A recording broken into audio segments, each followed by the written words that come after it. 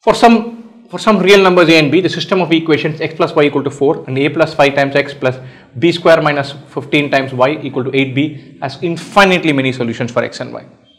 And then the maximum possible value of ab is. So, super pleased with this question because I skipped it in the end because I didn't even understand this question. Fine. So, x plus y equal to 4 a plus 5 times x plus b square minus 15 times y equal to 8b.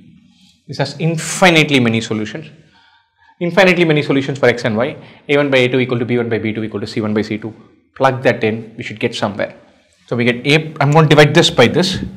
a plus 5 by 1 equals b square minus 15 by 1 equals 8b by 4.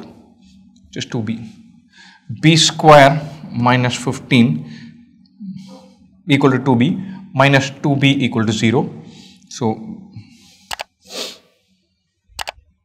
b square minus 2b minus 15 is 0. So, b minus 5 into b plus 3 equal to 0. So, b is either 5 or minus 3. a plus 5 equal to 2b, b is 5 or minus 3. So a plus 5 is 10, in which case a is 5.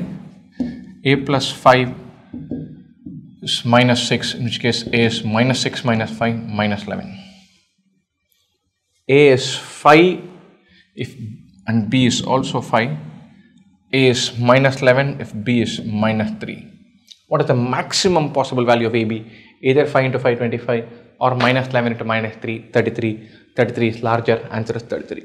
Once we plug in a1 by a2 equal to b1 by b2 equal to c1 by c2, we're through. My brain was so scrambled even by the time there was a third or fourth question because I'd seen too many x and y. I didn't even pick that. I just had to skip this question and carry on. I should have come back to it, didn't pick it second time around.